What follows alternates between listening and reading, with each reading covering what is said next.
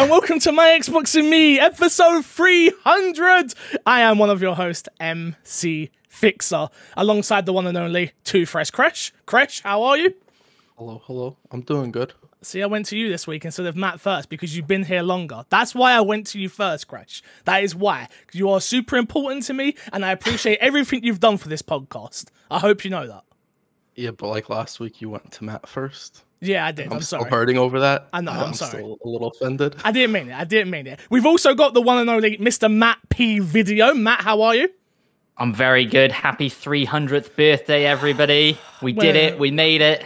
Kinda, you know, because I messed up the weeks. There's actually two 300 last week, but we called We that don't talk about that. we called that 299.5. and of course, our very special guest, all the way in America. We don't count Crash as American because he's one of us. Uh, Mr. Ryan McCaffrey from IGN. Ryan, how are you?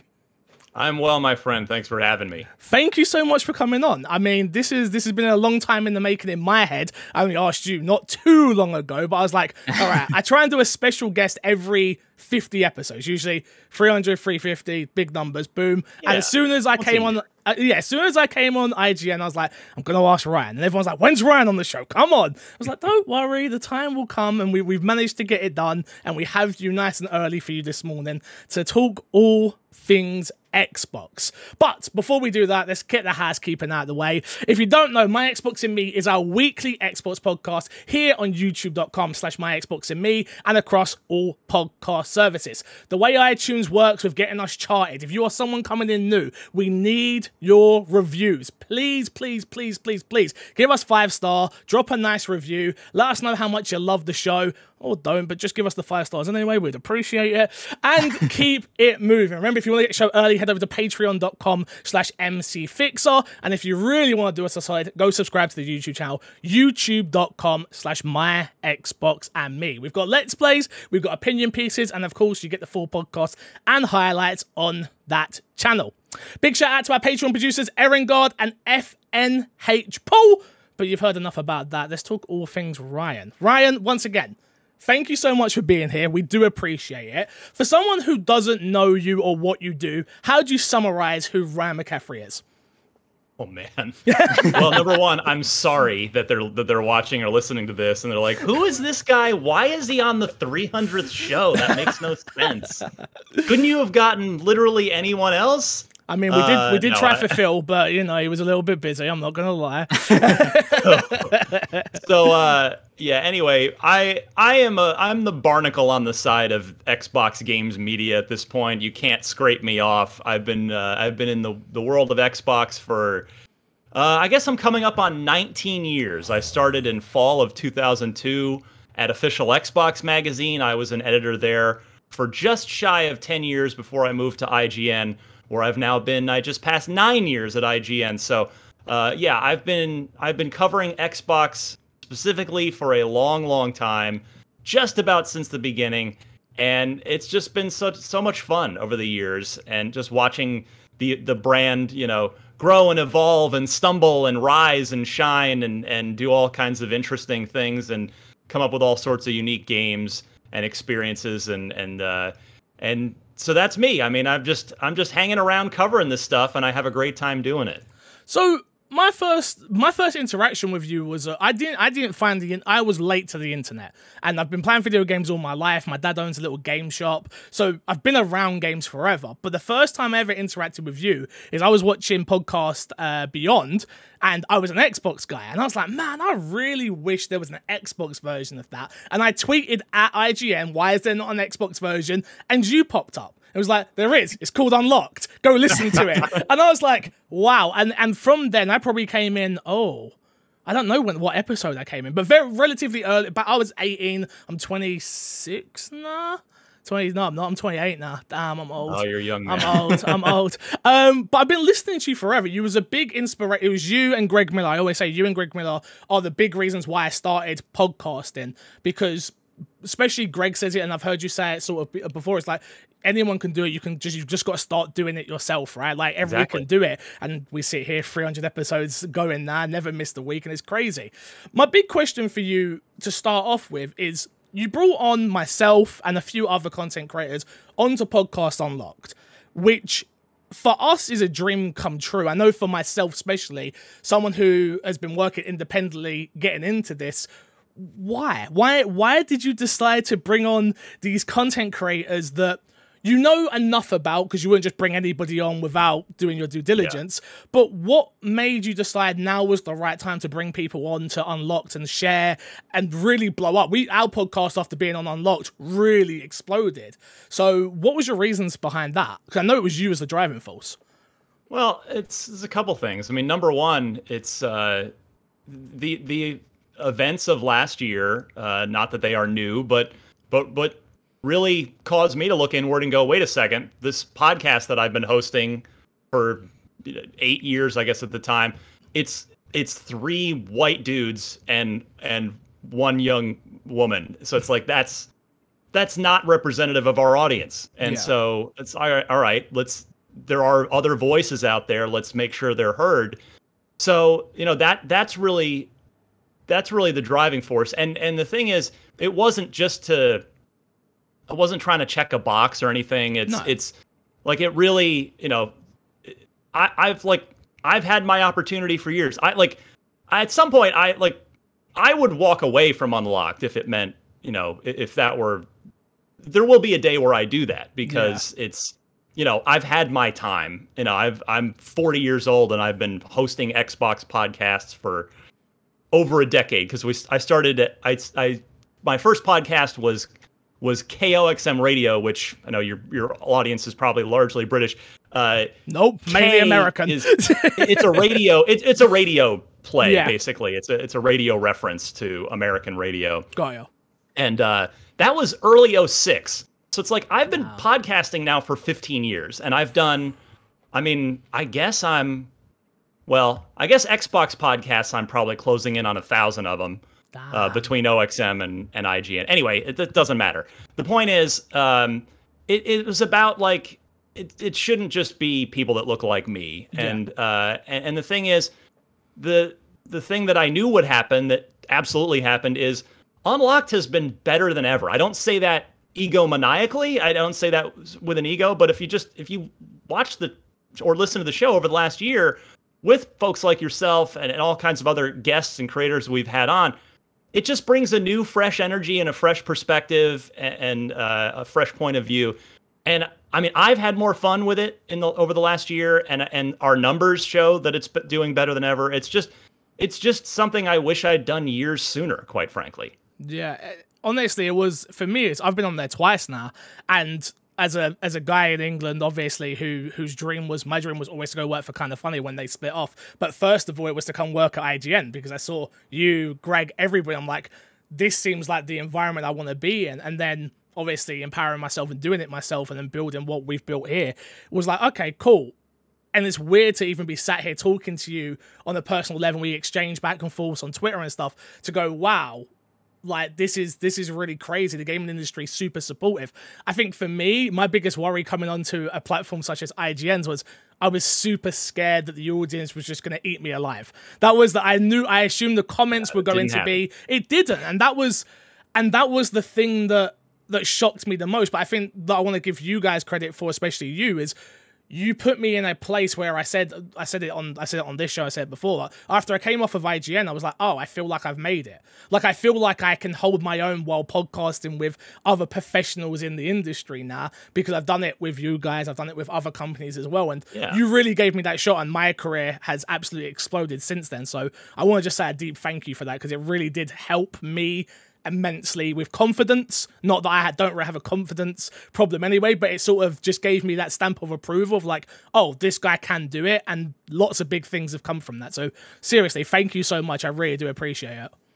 Oh, it's, I mean, I am lucky to, to sort of have a, uh, a bat signal that I get that I can shine in the sky from the roof of the IGN tower, as it were, and and I'm happy to to have put the, the to put the MC Fixer my Xbox and me logo in there for a couple times and shine it up into the sky for our audience. That was a really horrific Batman. No, it was brilliant. Like, it was brilliant. I was trying and it just wasn't going anywhere, but you get what I'm saying. I totally do. Matt, you've got a question, so please hit us with it. I do, I do. We have loads of questions for the community as well, and we're going to get to them in a second. But um, I did some digging, Ryan. I went back into the Uh-oh. archives of IGN to find some old school Ryan reviews and saw that one of your first, maybe your first IGN review, I'm not sure, was for Steel Battalion. You gave it a three out That- of 10. Yeah, that was my first review for IGN. Obviously. I've reviewed a million Xbox games at OXM, but coming over Yes. to IGN, that happened to be the first game that I reviewed. What a delight. What a delight, I'm sure. But I was curious, it got me thinking, how do you feel about review scores in general now and, and how they've sort of changed over the years and now with like live service games and stuff like that? How do you feel about scoring? Is it a bit of an outdated thing at this point, or do you still really enjoy giving a game a score and, and a definitive so much out of 10? I mean, I I don't have a problem with. I think the the audience perception of review scores, I think, has changed over time. Uh, and and I'm not like casting blame on the audience necessarily, but No. there there has been. I mean, it's sort of a collective thing. It's not just an IGN issue. It's it's the way. I mean, every outlet wields review scores differently and and sort of grades differently. Um, you know, I think part of it, but but I guess the the long and the short of it is, yeah, in in an ideal scenario, uh, personally, I'm not speaking for IGN. I'm speaking for Ryan McCaffrey Yeah. right now. I would prefer to get rid of review scores, but the audience finds them useful. They are Yep. they are a useful thing to our audience, and our our job is to serve our audience who wants to know what you know what we think of these games, and and you know we can help them we inform them as they consider a purchasing decision although even that's changing now with game pass and it's more informing a should i download this question but uh, that's another matter entirely so yeah i mean uh, i think part of it is that we there are so many games now. Like when i compare my career now to my career at oxm 10 year well yeah 10 years ago i was at oxm I, I was at the tail end of my run. So even you just just a decade apart back then we could cover literally every xbox game and we actually prided ourselves on doing that. We knew about everything. We'd written about everything. We like we had complete institutional knowledge of hmm. everything happening in the world of xbox. Fast forward 10 years and while yes ign is a multi-platform we cover every every platform not just xbox but even if we were to just cover xbox and nothing else there are two there are so many games i won't say too many that's i don't that that has a carries a negative inference i don't mean that but there are so many games whether they're publishing through id at xbox or what have you it's impossible to keep up with all of them. And so where i'm going with this is to say that you know we have limited resources as an editorial team. There are only so many of us.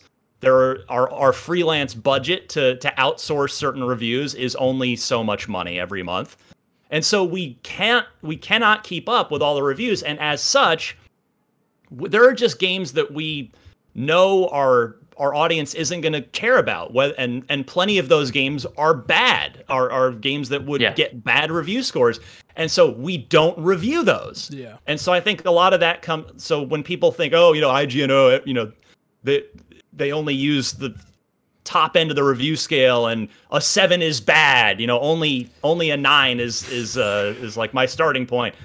It's it's part of that is because it's just the, way that in, the industry has changed and we just can't keep up. And so a lot of the games that would get negative poor they'd get poor review scores they just get ignored. They don't they get they don't get reviewed because we know our audience ultimately isn't going to care anyway. So it's just there's a lot of factors to it.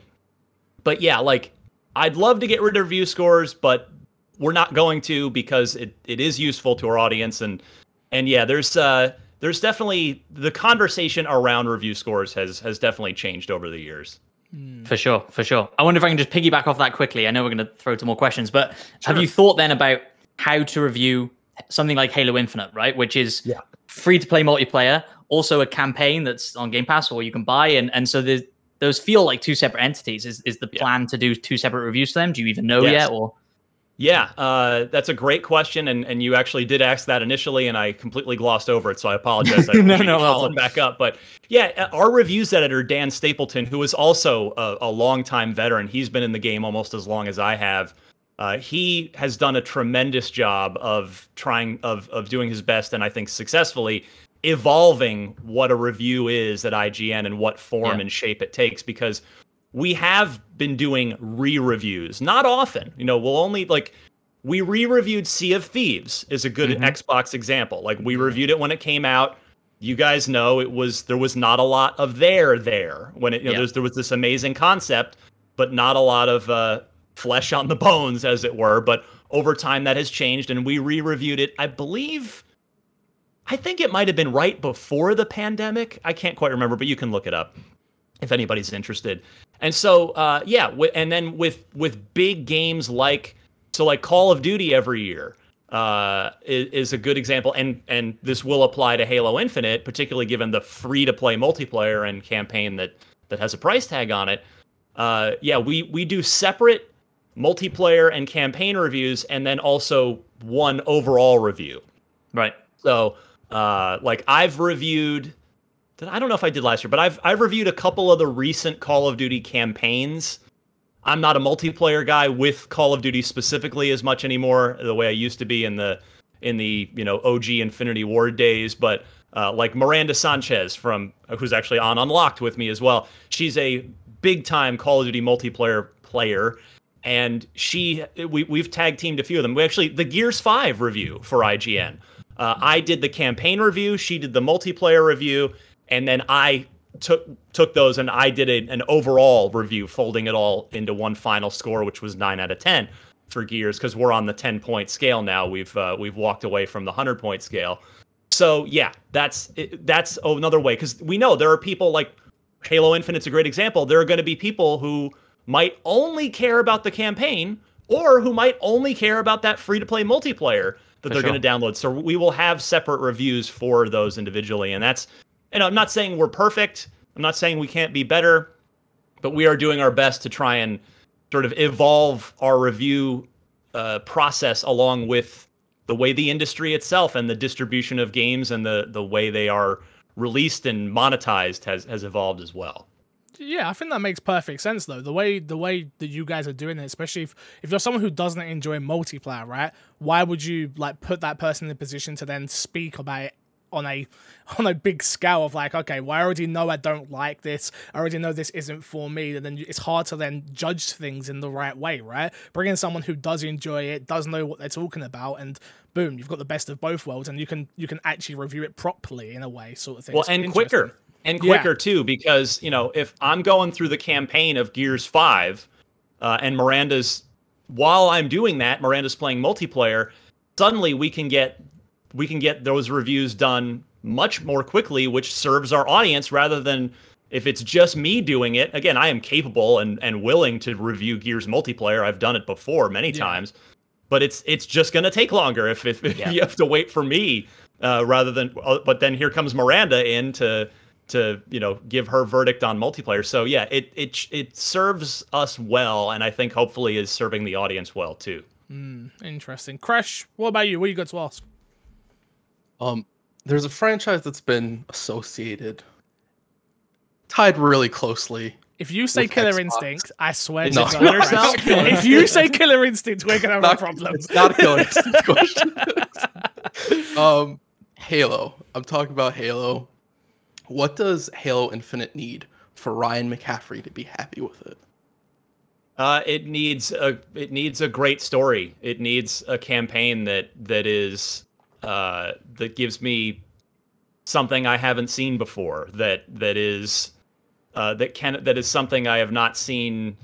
That, it does a better job than other first person shooters. Now, the the competition is kind of thin these days in the AAA first person shooter campaign department. You know, Battlefield 2042 is not even doing a campaign this time around, which is disappointing for me, but certainly there are plenty of Battlefield players who don't care. Obviously, that's why EA and DICE made that decision. but but I think Halo, I would argue that Halo of the major first person shooter franchises, your your Battlefields, your Call of Duties, your um your Dooms, uh, your Destinies, etc. Halo might be the one where people care a lot about both, uh, both the campaign and the multiplayer. There's, I mean, there there are people certainly that that care more about one or the other, but but Halo has has kept that campaign torch uh, lit for many years, and so that's you know that's that's why I didn't like Halo Five. Uh, like, and I wish we had reviewed. I wish we had separate uh, uh, reviews for single player and multiplayer back with Halo Five. We hadn't quite evolved to that point yet, and so I mean, I didn't review Halo Five, so I should I should clarify that. But yeah, like we could have like if I had reviewed Halo Five and we had done separate scores uh, uh, before doing one overall score the the campaign score would have suffered. So, uh, whereas the multiplayer still would have been a nine. But but yeah, that's what I'm looking for at a Halo Infinite. I want it to, I want it to wow me. I mean, that's that's really it. Like Halo Halo Four, I think still is is very underrated by the community and gets gets the short end of the stick because they weren't Bungie. But that campaign is phenomenal and uh, and and that's the thing. The the bar has always been set so high by every Halo with the campaign up until five. That's why five's campaign hurts so much. Hmm. It's not that it was a bad game, but it was a pretty bad Halo campaign by Halo's incredible standards. So I want Halo Infinite to recapture, to, to bring me back to the top of that mountain, uh, to, to the top of that uh, th- that that expectation of what Halo can be. So, from what you've seen so far with Halo, which from the first showing, obviously, the internet ran wild with a few things. What did you initially think of what was shown? Was you wow? Was you blown away? Or was it just a bit like, okay, mm, that's interesting?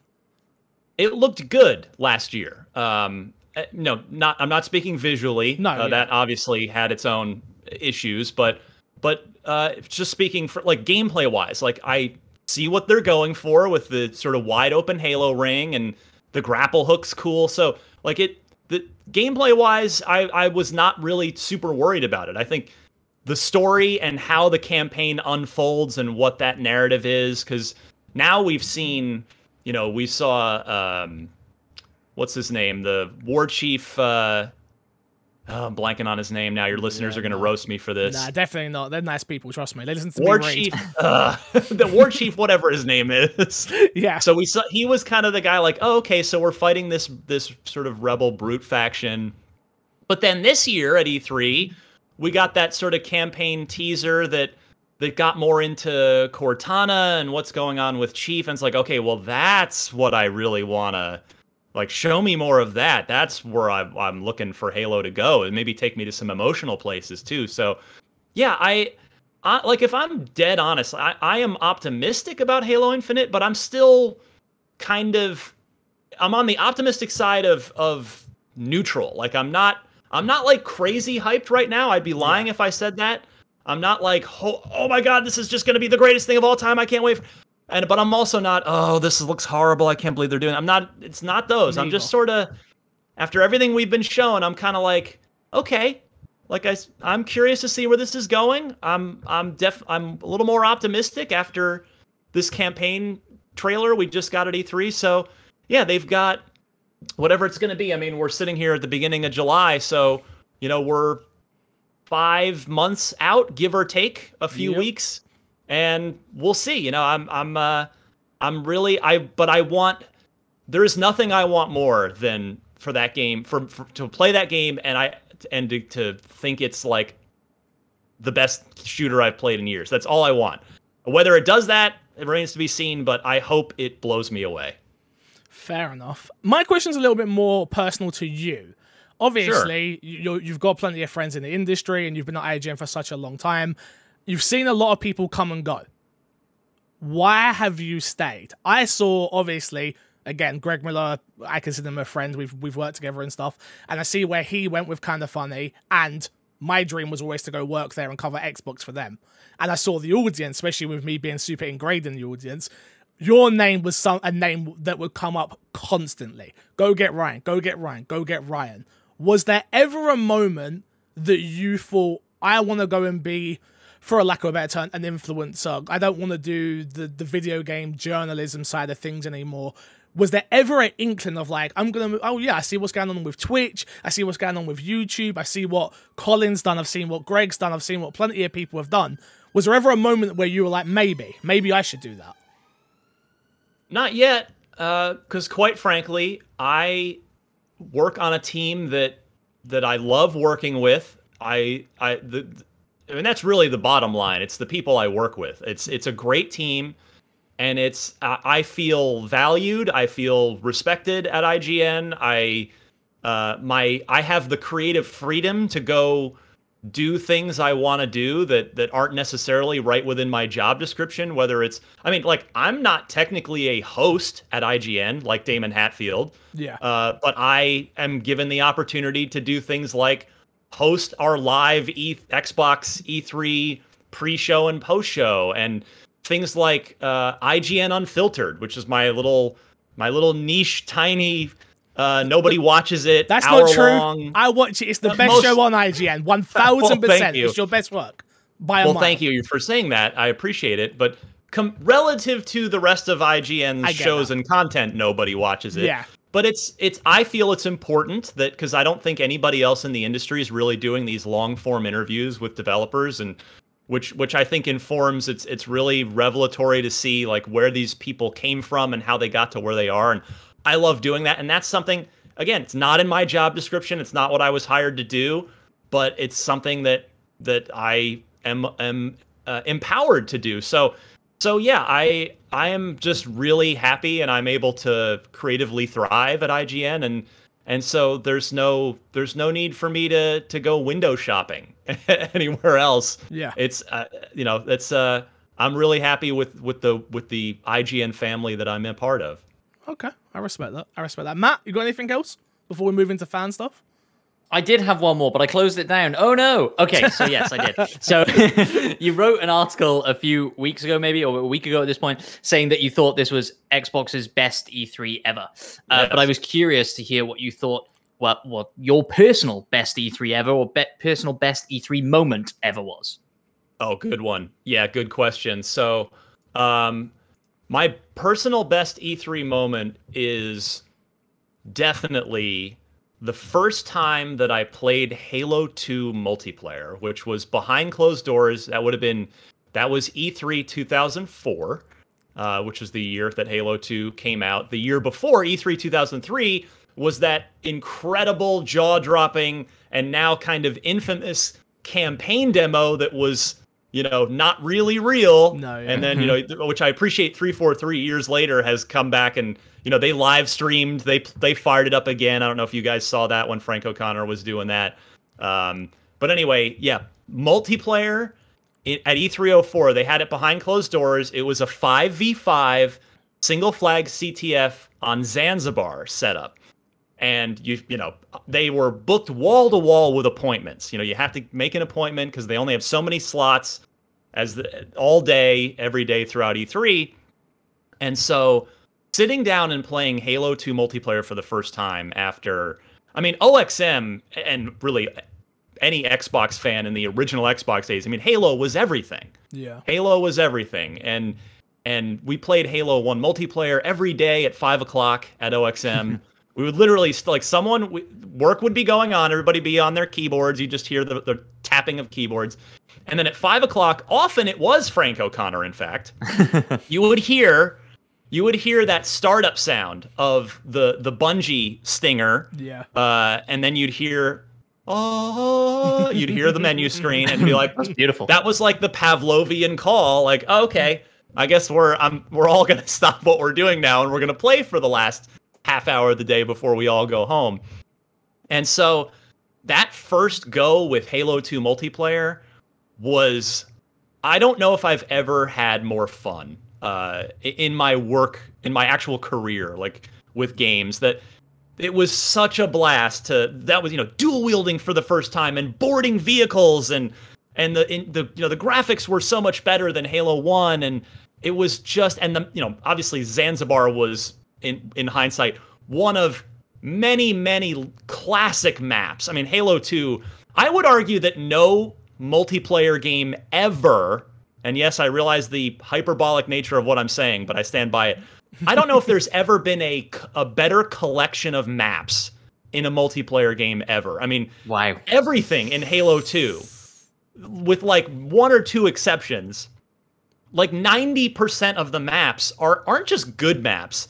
They are like all-time bangers. They are just all-time incredible multiplayer maps. And so, yeah, that that first go with Halo 2, I actually I went back I think a couple more times even though my appointment had been completed and just begged Microsoft PR like do you have an open seat can you let Love me it. in and they got me in a couple more times Nice. and and that and that was yeah that was that was an absolute blast and I I will always fondly remember that Fair enough. Love that. That's, that's amazing. That's an amazing story. Uh, Crash, you got one more for us?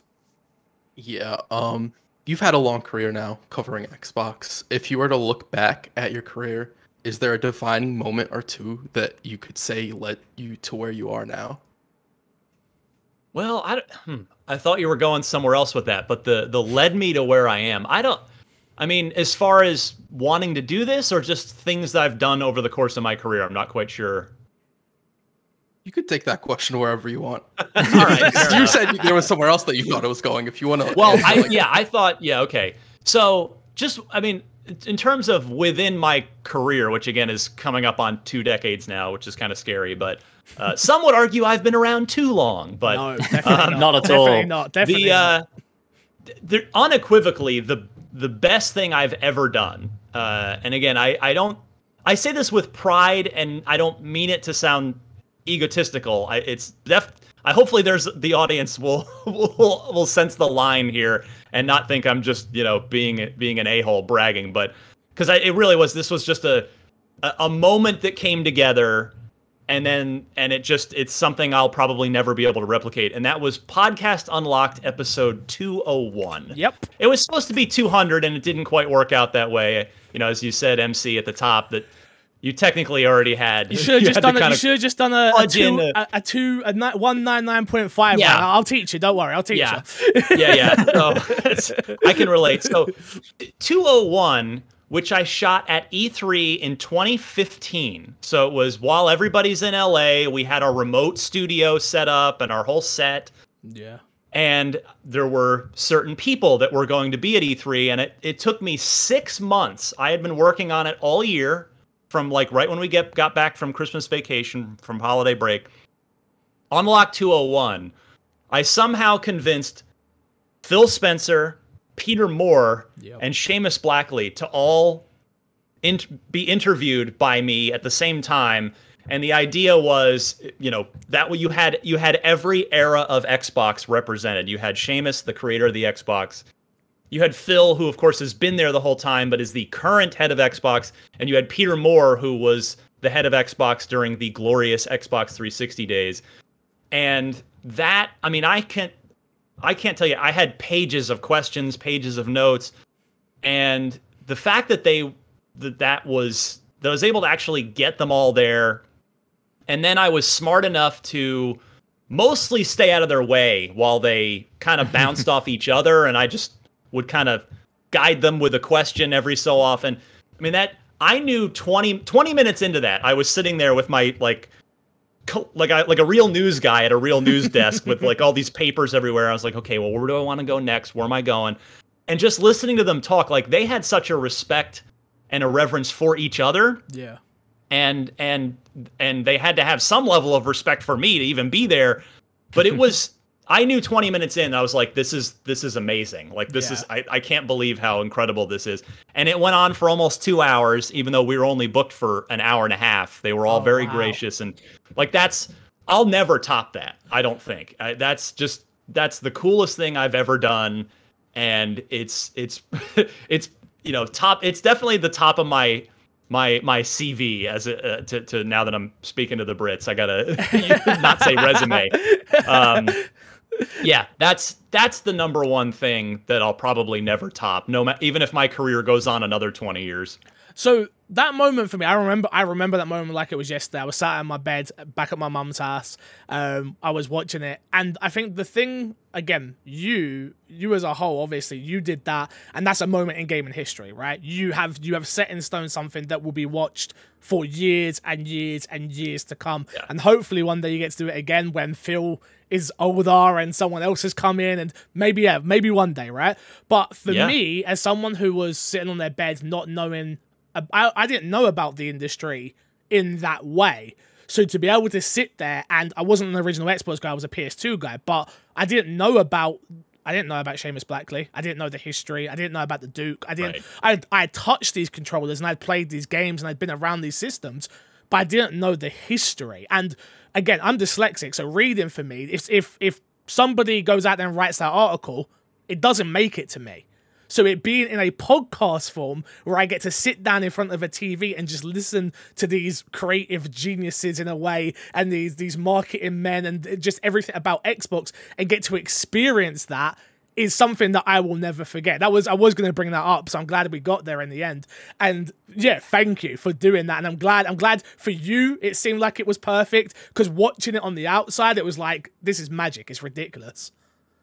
Well, thank you. You're very kind. I mean, that's that's the one where like I wish that had a million views on it on YouTube. Like it's it deserves I, it, yeah. It does deserve it, yeah. It's some like it's still kind of I think a lot of people haven't seen it and don't know about it, but if you're yeah, if you're a big Xbox fan and you want to kind of go back and hear from uh, there are a million great stories in that. Like Peter Moore tells the story, like the behind the scenes story of the Red Ring of Death of Yeah. like having to go to Steve Ballmer and Bill Gates and be like uh, we have a problem and we need to spend a lot of money to deal with it or else things could go I mean it's there are so many good stories in it and and uh, Seamus who's just completely like no filter on that dude and I Yeah. love him to death. Um he tells the story of like of taking of trying to mar- like bring Xbox to Japan which of course didn't go well uh, Yeah. in the beginning and there, there's a million great Xbox stories in it. So if you're ever curious, if anybody out there, maybe some of your your younger viewers that that Yeah. like you're saying, maybe they just came up in the 360 era and and don't you know have this maybe they have a, a reverence and a, and a love for original Xbox, but don't know maybe but maybe they didn't live it. Yeah. Uh, you could go back, yeah, unlocked 201. Yeah, it's definitely worth listening. All right, let's get some of these viewer questions done, guys. Uh, Matt P, do you want to take the first one and read that one off for us? Sure, can do. This is from Jesper on Twitter, who said, Congratulations on the big 300, guys. Inspired by DMC Ryan's Coexist shirt, it would be mm-hmm. cool to hear Ryan's reflections on the current state of console warfare on today's gaming scene and what he would propose the community do. Sorry, what he would propose the community can do to move forward beyond this toxic fanboyism. Who I would, boy, if I had an answer to that, I think I'd be a rich man. Yeah. um yeah you know my little contribution to that was to was uh, to sell a t-shirt that said coexist on it with a an anthropomorphic xbox controller like high-fiving with a an anthropomorphic playstation controller yeah. but yeah i mean it's i don't know that it's that's a larger issue of toxicity just on social media in general it's not unique to games and Yep. I I I I just try I try I try my best. I'm human and I don't always follow my own advice. I just try my best to not engage with it.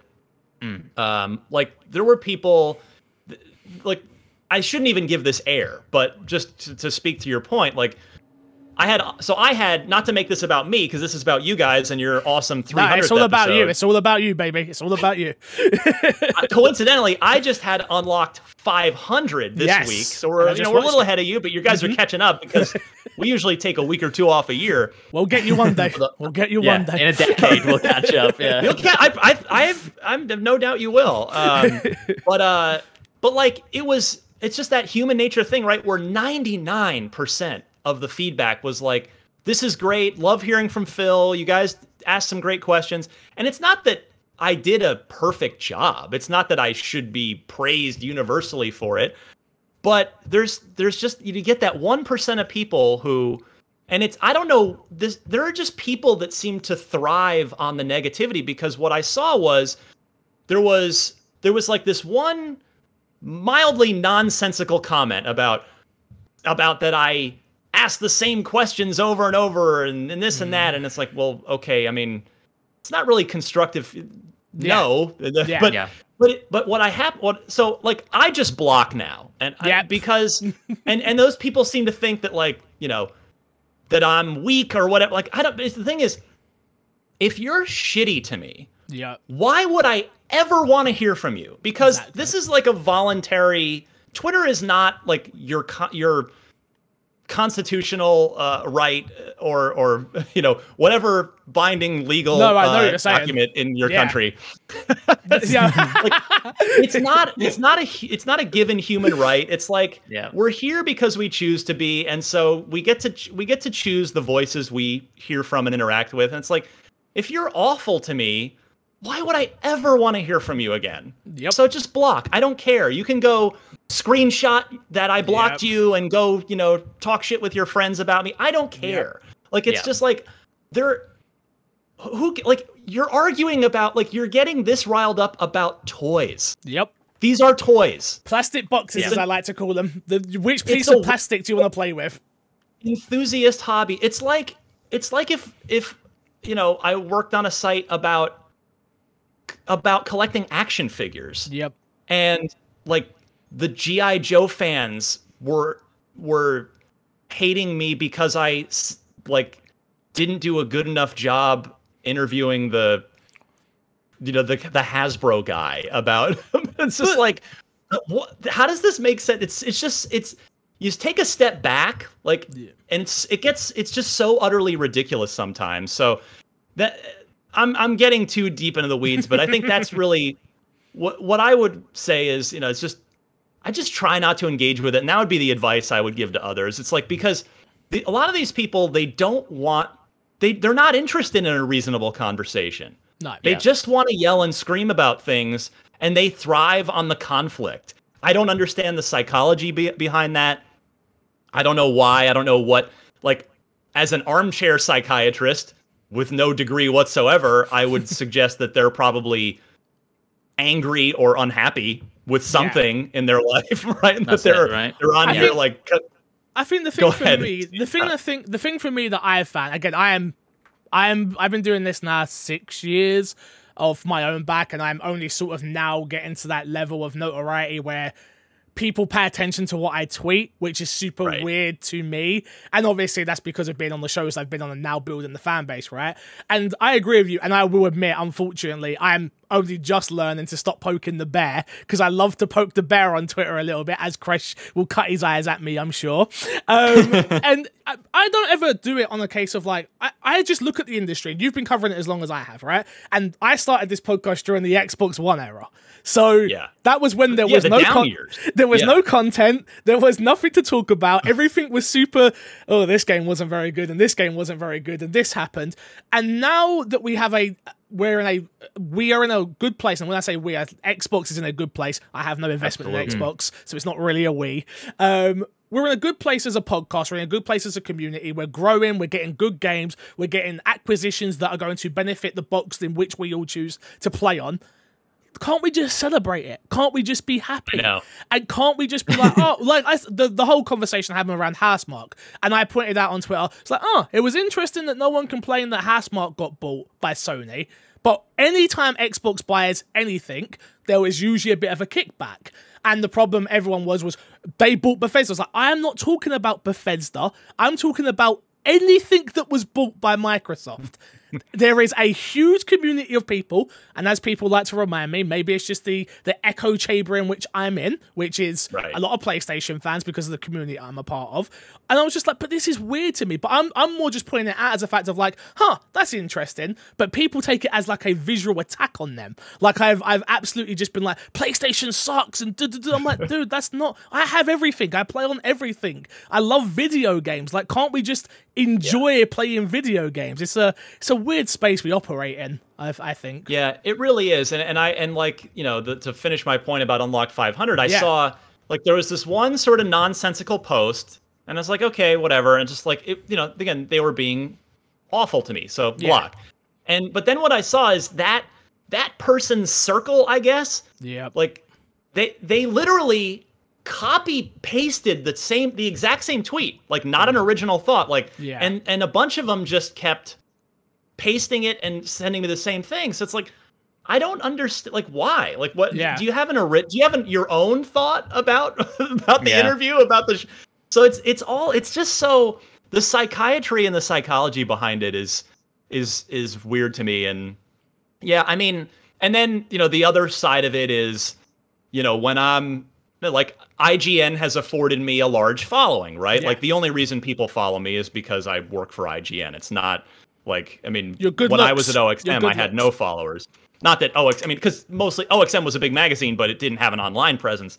And so, like, if I if I hit back, it's oh, I'm punching down, Yep. and it's like it's still a bad look. So it's like, you know, you just it's no fun to read people saying horrible things about you and your work, but there's you just there's you just gotta like I I try very hard and I don't always succeed to just scroll on by. But yeah, like that's that's the thing as far as there I don't think there's a cure for the toxic gaming community because we just live in a tribalist society, whether it's Yep. sports, whether it's politics, whether it's hobbies, video games. Uh, I see it in the Tesla community, which is a that's sort of my side thing. I do a lot of stuff with Tesla, Yeah. and it's like I see that with like you know gas powered cars you know and and tesla people it's there's just like everything has this sort of tribalistic nature of you know if you're not in my camp you're wrong and i hate you and i hate everything you stand for. And it's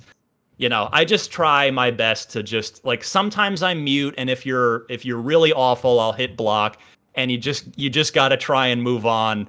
And it's that that that's if maybe if we could all just ign- try to you know scroll by Yeah. maybe it would die down a little. I don't know. Probably not but it's a Like strange you- place but but yeah like engage with the it's, it's not that people can't criticize you i mean i i'm you know there are definitely i've ta taken plenty of good feedback from people that is constructive but you know that's in, engage with you know with with the with the good and with the constructive and i just Yeah. try not to engage with the with the trolls Agree. Go on, Matt. That's what I was going going to say. I was just going to say, look, like you said, ninety percent of the comments are positive and lovely. Yeah. But you scroll through, and that one will catch your eye, and that's the one you end up craw. interacting with. Yeah. In some way, right? If it's blocking or whatever, and you're like, oh, I should have just liked five of the nice tweets and then put my phone away. um, It's yeah. so hard. It's so hard to do though. We are we're gonna move on, but it's it's really hard to do. It's again, I do not get I do not get on the level of what you get, Ryan. But yeah, it's really hard. And just as a final point to this, it's important to remember too, like, you know, I, I almost feel bad that we've that I've sat here prattling on about this for five minutes because at it all. the majority of the community Yep. is good and it is they're perfectly reasonable, normal people that don't have some weird social media axe to grind. And it's like you to to you know, that's where like if you look at the like a good way to, I think to see that. Now I bet I'll bet this applies to your show as well. The the upvotes and downvotes on YouTube. Yep. Like that's I think that's such a that's a much more passive interaction, right? Where like you look at uh unlocked 500 this week, it's like the ratio's like 50 to 1 of Yeah. thumbs up to thumbs down. And that's a better metric of you know the, the where people people people that like it might not might not necessarily take to Twitter or to the YouTube comments and go, Yeah. "Wow, this was amazing. Thank you guys." But they'll just go click thumbs up and then they move on and they go on with their day.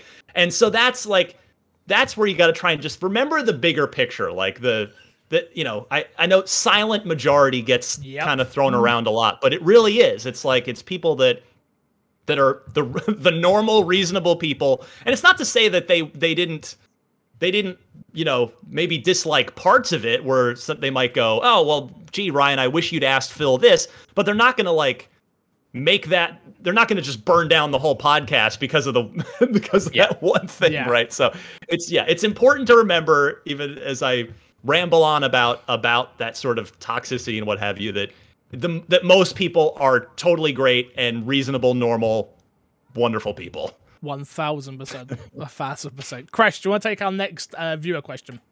Yes. Shotgun McPain asks With Microsoft acquiring so many studios over the past few years, are you more excited to see what the power of Xbox does with existing franchises or what they can do with new IPs? Well, I mean, it's. I, I guess both is a cheat answer. You know, I, I think that's they're not looking for, the- for the both answer, but but yeah, like I mean, I'm. I mean, Avowed isn't technically a new IP because it's within the Pillars of Eternity universe, but like Ah. Avowed is definitely on the short list of of first party games that have been announced that I'm most excited for because there, there's just all this new untapped potential there. Uh, from I mean, you look at Obsidian, a developer with a phenomenal track record over the years, who I don't think it's disrespectful to say they've never quite had that like ultra breakout hit. You know, they've had, you know, Fallout New Vegas is, I think, probably we'd all agree that's their their most Yeah. recognized game, uh, arguably their best game.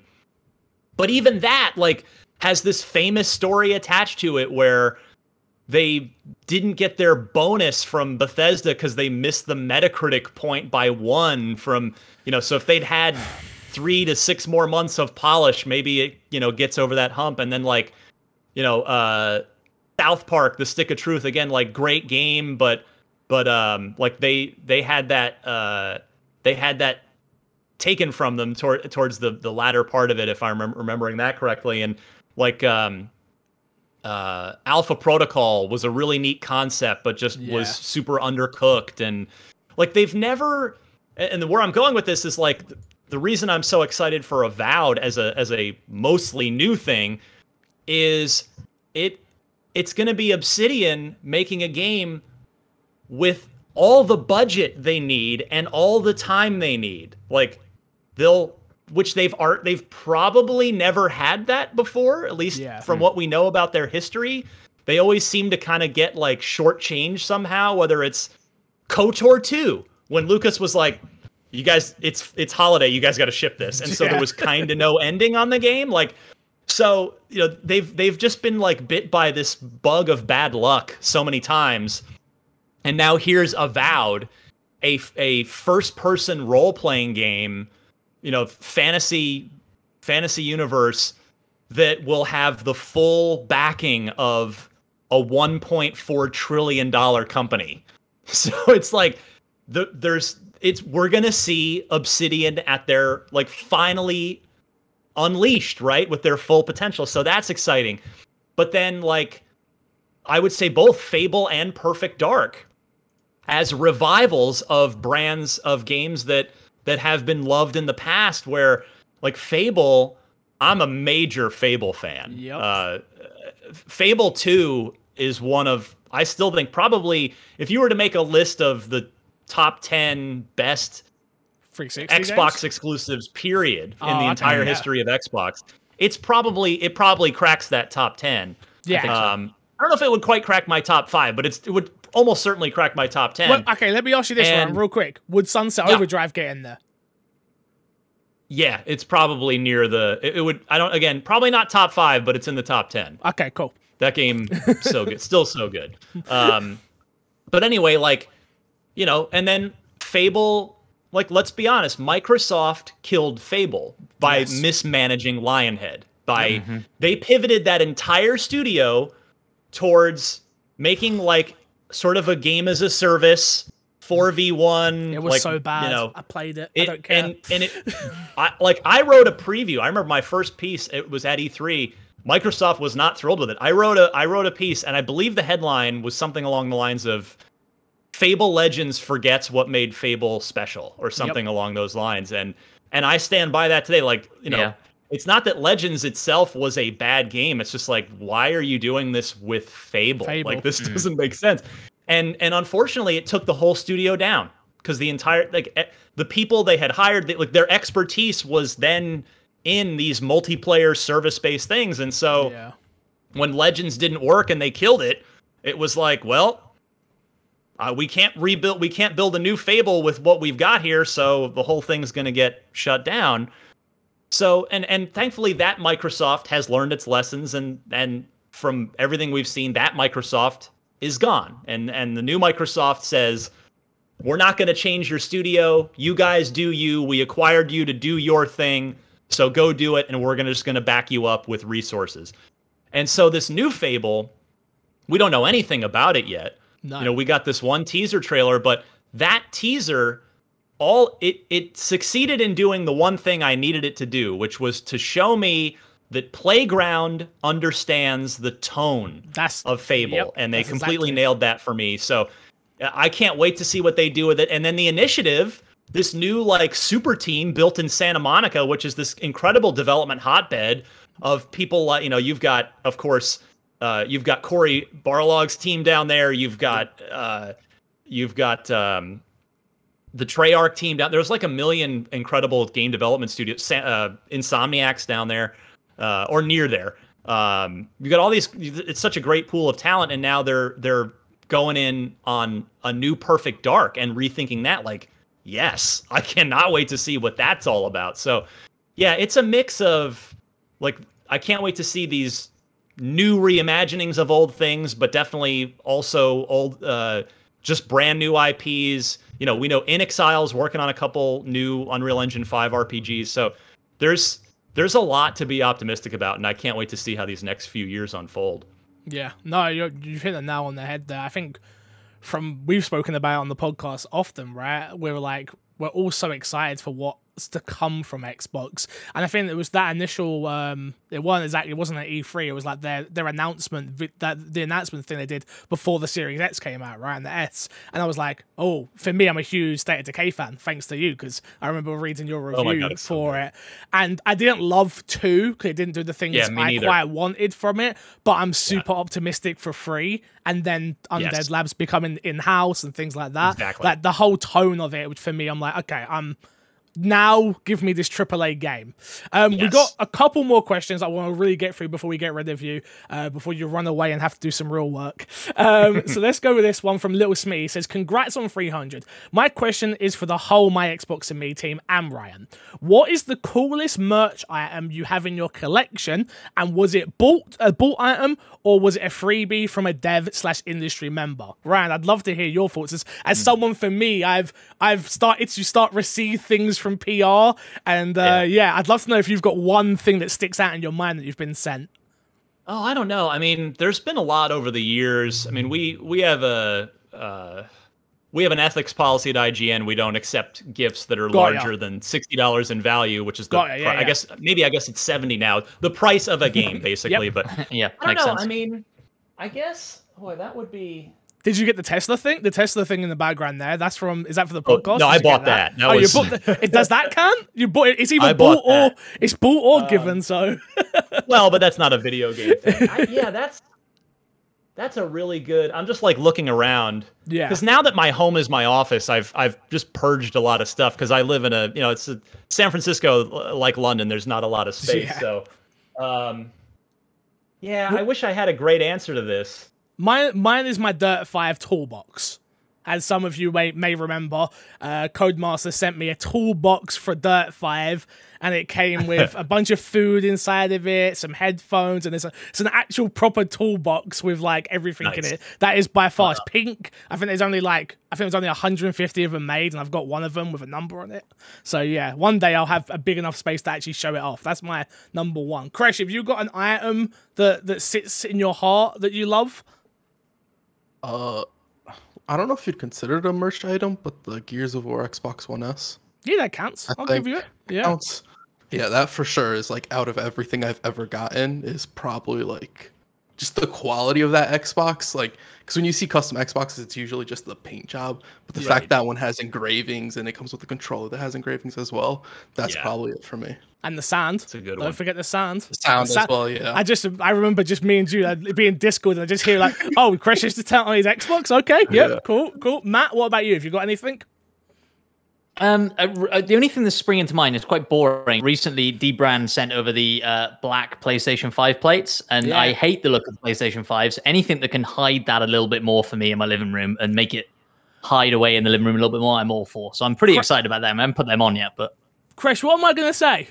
Crash. This is well, an Xbox podcast, and you're talking about PlayStation. Please. Every time, every Ryan. I don't know if you've ever had it where your co-host just decide they are a PlayStation. Want to talk about PlayStation on the show constantly? I'm like, it's not quite here. Hey, we can coexist, but it's my Xbox and me, not my PlayStation and me. We have another brand for that. Come on, god damn it.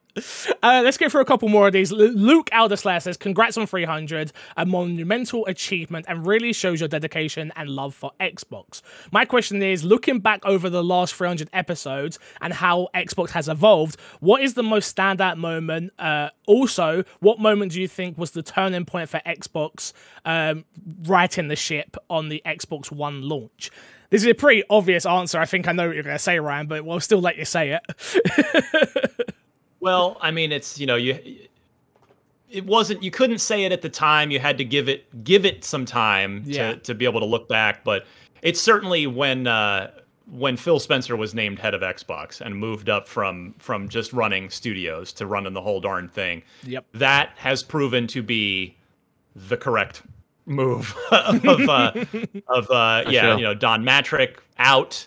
Um, some of the other executives were out, and then having Phil come in.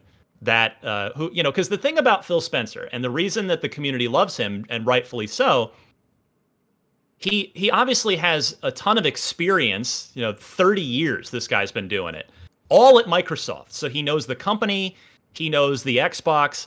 But the thing is, he's a gamer, and I'm not saying like, hey, you know, you look at a Bobby Kotick, not a gamer, Yeah. and a lot of the gaming community does not think well of him No. because you know of his business practices but as a businessman the guy is ruthlessly successful but phil is able to be successful but he's also a legitimate hardcore passionate gamer who understands and respects the creativity of games and the process of making games and so that's you know you put that guy in charge when your brand has been Destroyed. has been taken down a peg. I mean, you know, the 360 era, we we all remember it. It was Microsoft was they could do no wrong. They were they'd made every correct decision.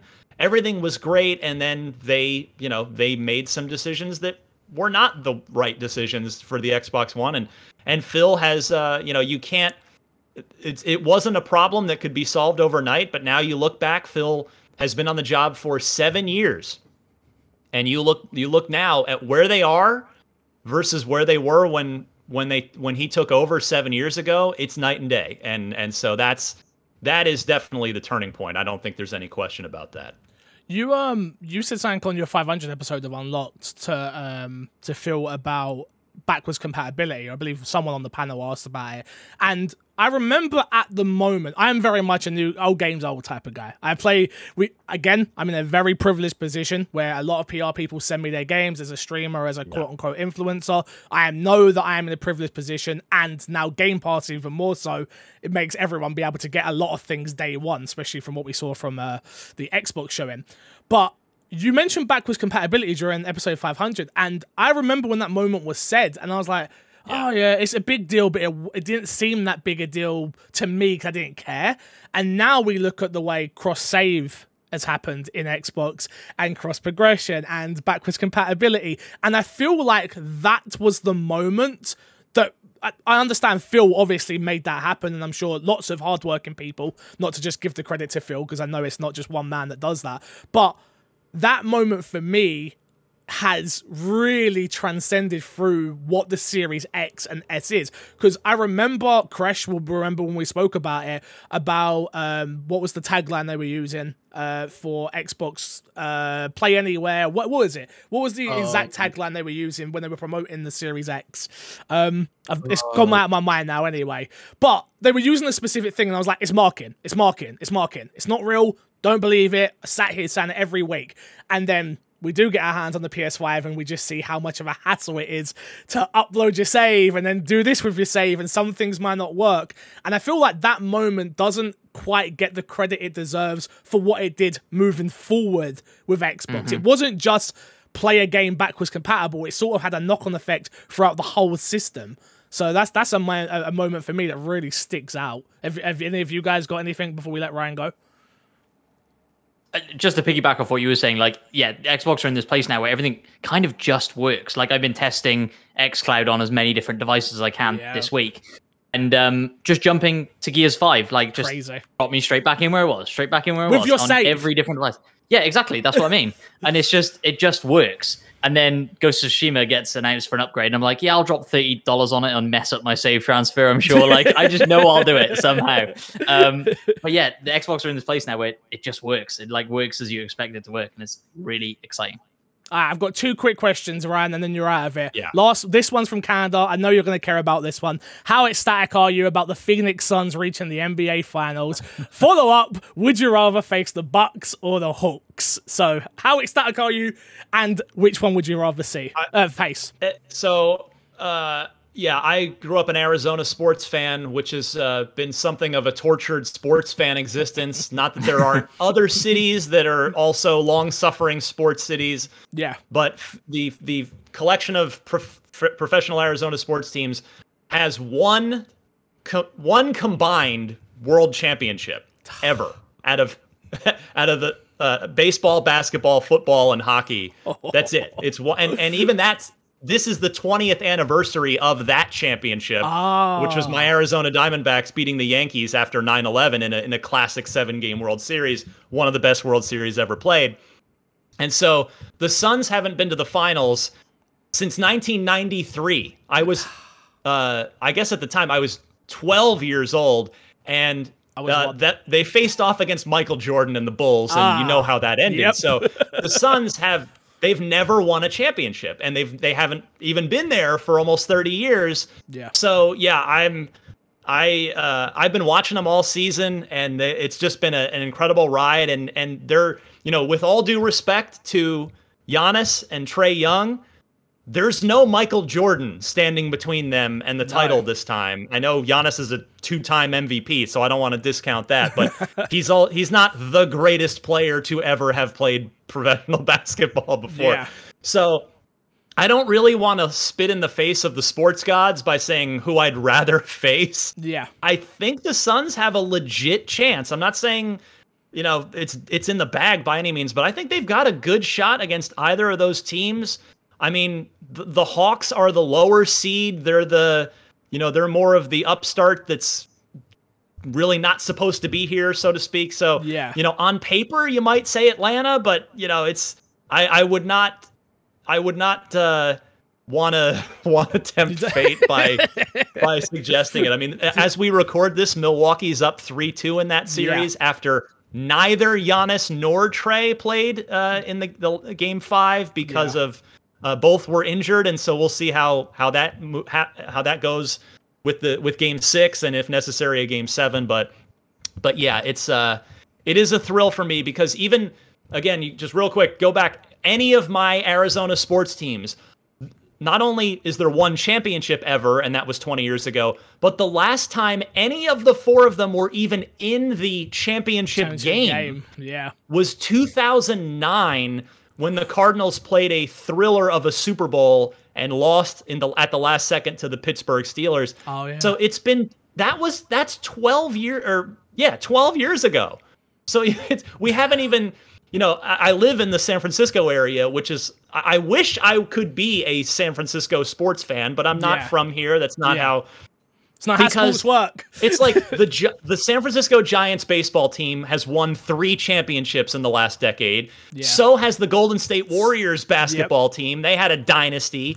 The 49ers haven't won a Super Bowl, but they did make the Super Bowl just a, a few years ago. Uh, and I think the San Jose Sharks might have even made the Cup final. I don't think they won it, but yeah. So it's like you just just to compare, you know, it's the, the Bay Area teams are are like constantly in the in the finals and and often winning them. But the uh, yeah, Arizona sports fans, uh, this is a big moment for us. Oh, trust me, I can relate. I'm a Tottenham fan in the in the Premiership, and uh, yeah, we don't we don't win anything either. We're the laughing stock of the league, so uh, everyone takes the mickey out of us. I understand. My last question for you is one that is is oh, it's a hot topic around here, Ryan. I've got to tell you, it's a hot topic, which is are the Xbox games with gold games free? well, not technically. It's That's right, Ryan. That's all I need to hear. Thank you very much, everybody. No, seriously, finish off. Finish off. that, that's the thing I always ask people because people love to show, throw in my face when I complain about the games with gold, and people who say they're free, they're free, they're free. And I'm like, no, they're not free. We pay for them. We pay for this service. It should be better. But you've said what I needed to hear, Ryan. You've been amazing. Let's plug, plug, plug, and get ourselves out of here. Ryan, where can people find you, especially that Tesla podcast? Oh, sure. So, yeah, Podcast Unlocked. If you can't get enough of Xbox each week, besides my Xbox and me, and you want to come hang with us as well, Podcast Unlocked on uh, on YouTube.com slash IGN Games or any of your favorite podcast services. And then, yeah, my little uh, passion side project outside of IGN. I host a weekly Tesla podcast where, like you, I never miss a week. You know, I think it's, I, I respect the hustle on your part because I, I share it. It's, you know, there are so many free shows and podcasts out there that if you cannot be reliable for your yep. audience, if you if they cannot depend on you being there every week, they're gonna go find something else to listen to. So I I uh, absolutely tip my cap to you guys for never missing a week with my Xbox and me. I'm I'm that way with my Tesla podcast, which is called Ride the Lightning. So if you're interested in Tesla, if you want to learn more, uh, you can find me. I would just say Google "Ride the Lightning Tesla" and you'll you'll probably find it. Okay, okay. Uh, Matt P, where can people find you? Follow me, Matt P video, and all the things. Follow the my Xbox and me TikTok, but mainly go check out that podcast because it's awesome. Crash, give me a proper plug this week, dude. Come on, give it to me. I believe proper in you. Plug. Uh, go drop a review on the my Xbox and Apple page. he does it every week, Ryan. Ryan, he does it every week. He won't give us a proper plug ever. He just goes, yeah, whatever, just go do whatever. You can find me everywhere at MC Fixer. My big thing is obviously we're gonna have an influx of people listening. Please, if you did enjoy this, please hit the subscribe button on your podcast service. Obviously, if you're into visuals more, youtube.com slash my Xbox and me. And if you want to follow me on my personal channels, it's at MC Fixer everywhere. YouTube, Twitch, Twitter. Instagram, TikTok. I am there. Ryan, thank you very much for being on episode 300. We'll see you again in another 300 episodes. Congratulations on 300, guys. Appreciate it. Goodbyes. Thank you. Bye.